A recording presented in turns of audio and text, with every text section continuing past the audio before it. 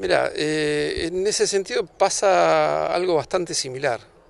Yo siempre cuento que, digamos, las dos fuerzas que más se requieren en los barrios, cuando nosotros visitamos los barrios, hacemos reuniones eh, con los vecinos, una es la policía local y otra es la gendarmería, por ejemplo.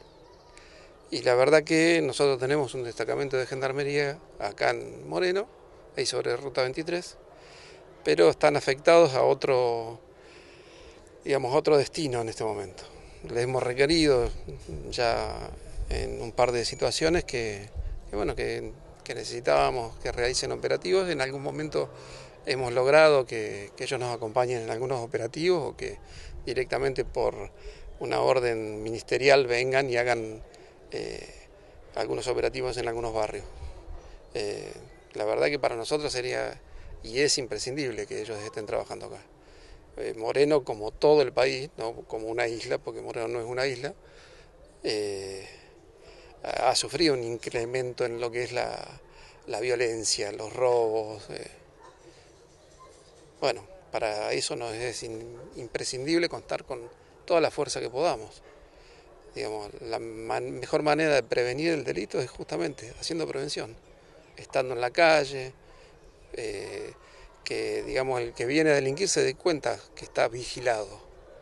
En lo general el delincuente cuando pasan este tipo de situaciones prefiere no delinquir, o al menos no delinquir en esa zona. Por eso nosotros, digamos, le hemos hecho nota de requerimiento a, la gente de las fuerzas, al ministro inclusive, eh, sin ir más lejos en esta semana que pasó eh, la peregrinación, le pedimos, digamos, mediante nota el tema del refuerzo y que realmente ellos, digamos, se haga cargo de lo que es la parte de la seguridad en todo el trayecto que implicaba pasar todos los peregrinos por Moreno. Digamos, hay cosas que no escapan, digamos, a, a las realidades y me parece que tiene que ver con que realmente se tienen que hacer cargo de las situaciones que ellos tienen que manejar y garantizar. ¿Mandaron los refuerzos? Eh, mira, eh, hubo refuerzos, hubo refuerzo, hubo policía de montada, hubo, sí, hubo refuerzo de otros lugares. Y, obviamente, pero mucho se trabaja, yo hago hincapié con esto, eh, cubriendo algunos sectores, mayoritariamente por la policía local. Digamos, cualquiera que hubiera recorrido el otro día la procesión se daba cuenta. Digamos, no, no hace falta ser ni físico, ni químico, ni matemático para darse cuenta cuál es la ecuación de cada tantos policías, cuántos policías locales hay y demás.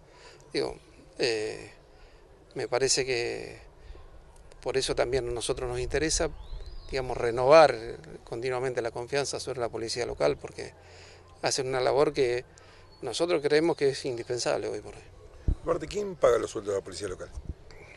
El ministerio. ¿Quién provee los armamentos? El ministerio. ¿Los chalecos? Eh, casi nadie, te diría, porque los pocos que ha conseguido el comisario Chinero en el último tiempo sí lo han proveído, los proveyó el ministerio, digo. ¿Los sistemas de comunicación? Tendría que proveerlo el ministerio. No hay. No, eh, hoy por hoy ellos no tienen sistema de comunicación. Estamos obviamente tratando de trabajar para cumplimentar lo que ellos puedan desde la policía local conseguir y a ver cómo lo podemos poner en funcionamiento en conjunto con el municipio.